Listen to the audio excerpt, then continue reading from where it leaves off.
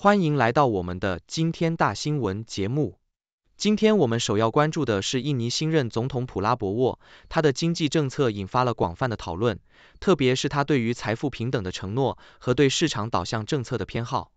接下来，我们将带您了解中国无人机巨头 DJI 对美国国防部提起的诉讼，这不仅是商业争端，更是中美之间紧张关系的缩影。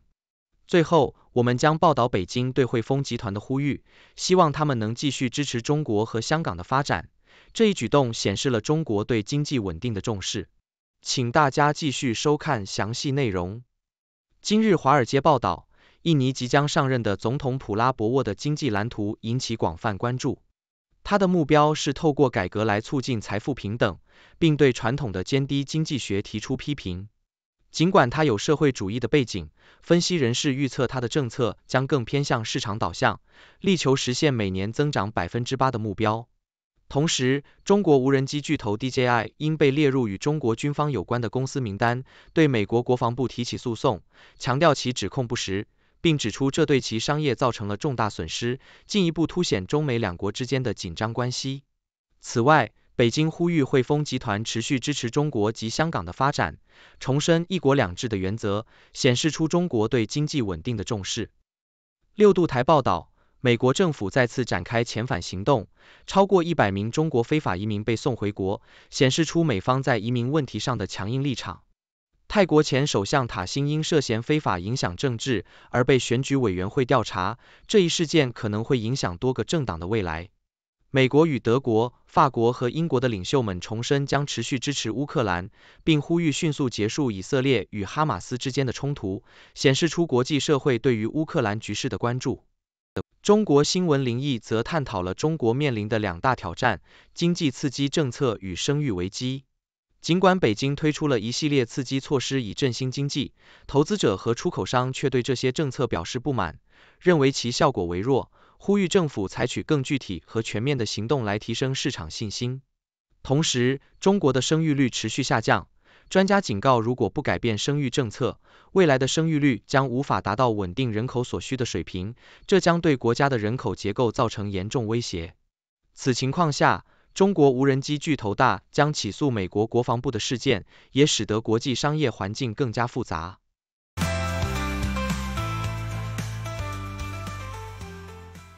今日华尔街报道，奥巴马在亚利桑那州为哈里斯助选。正值选举关键时期，哈里斯的支持者们积极集结力量，力求在这个摇摆州赢得选票。奥巴马的出席无疑为哈里斯注入了强心剂，吸引了大量媒体和选民的关注，展现了民主党的团结与决心。同时，哈里斯也在演讲中强调了他对选民的承诺，呼吁大家共同努力，确保在即将到来的选举中取得胜利。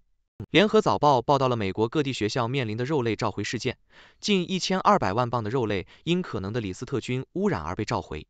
虽然目前没有确诊病例，但这一事件提醒我们食品安全的重要性，尤其是在学校这样的公共场所。家长们纷纷关注自己的孩子是否受到影响，学校也在积极采取措施，确保食品安全，防止类似事件再次发生。这一事件引发了社会对食品供应链的广泛讨论。强调了监管和安全检测的重要性。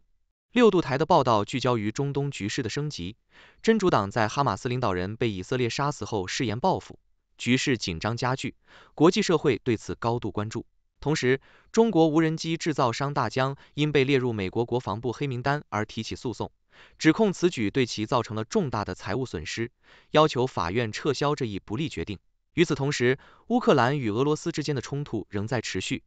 俄方归还了五百零一名乌克兰士兵的遗体，此举被视为自战争爆发以来规模最大的遣返行动，显示出冲突双方在某种程度上的人道考量。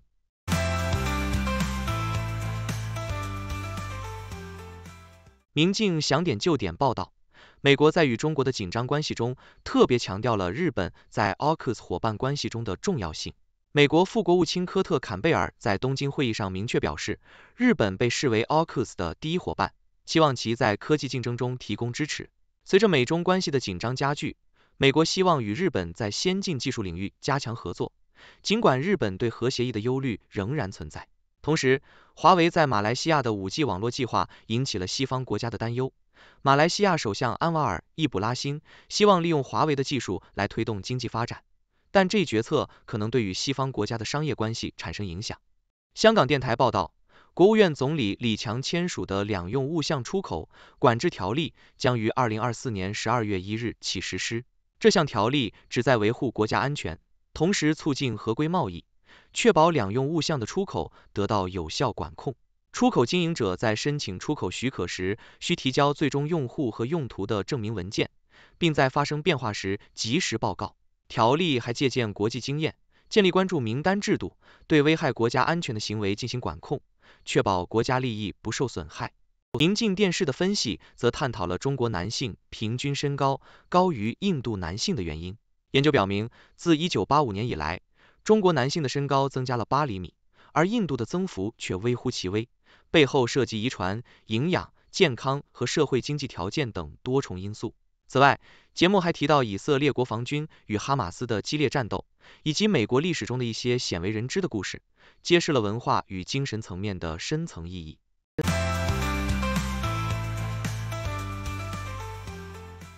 德国之声报道。中国国务院总理李强签署了两用物项出口管制条例，该条例将于二零二四年十二月一日生效，旨在增强政策透明度和规范性。两用物项是指既有民事用途又可用于军事的商品和技术。美国指责中国通过这些商品支持俄罗斯在乌克兰的战争，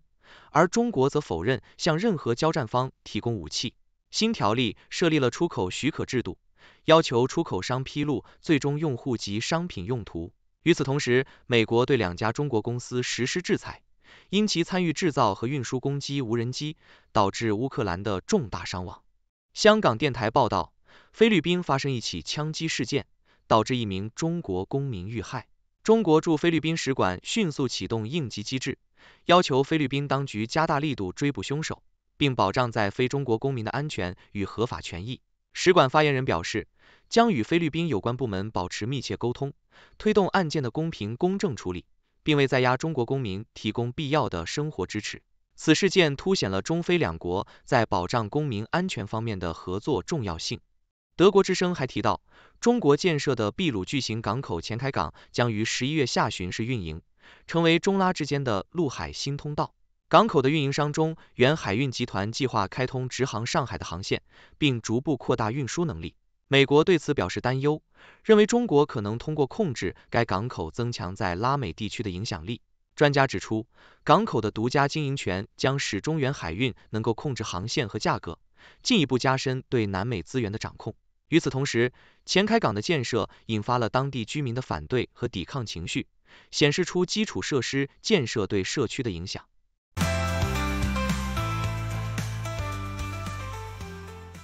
中国经济放缓表现出不寻常的波动，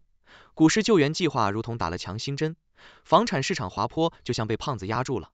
中国股市深探二零二四年十月十九日，今天我们将深入探讨中国经济的现状。尽管官方数据显示 GDP 增长百分之四点六，低于政府设定的百分之五目标，经济的未来依然充满变数。中国央行计划在第四季度降低银行的准备金率，以促进资金流动，这对于企业获得贷款至关重要。此外，中国推出了一项高达四百二十亿美元的再贷款计划，旨在支持股市的持续上涨。这对投资者来说无疑是个好消息，但也隐藏着潜在的风险和挑战。在《星岛日报》的报道中，令人震惊的是，一名十八岁的中国男子在日本崎玉县酒驾逆行，导致一名五十一岁司机不幸遇难。虽然这名男子的呼气酒精浓度高达每公升零点一五毫克，但检方却认为其行为不构成危险驾驶。最终以过失驾驶罪起诉。事发当天，这名男子与友人饮酒后开车，逆向行驶，并以超过一百公里的时速冲向十字路口，最终酿成惨剧，令家属心痛不已。美国之音中文网则报道了以色列总理内塔尼亚胡的住所遭到无人机袭击的事件，所幸没有造成人员伤亡。与此同时，以色列国防军对加沙的空袭造成至少二十一人丧生，冲突的紧张局势愈发加剧。哈马斯与以色列之间的战争似乎没有停火的迹象，双方都在继续进行激烈的军事行动。内塔尼亚胡在袭击后表示，什么都吓不住他，并重申以色列将继续打击哈马斯，确保国家安全。此时，伊朗最高领袖也发誓将继续支持哈马斯，局势愈发复杂而严峻。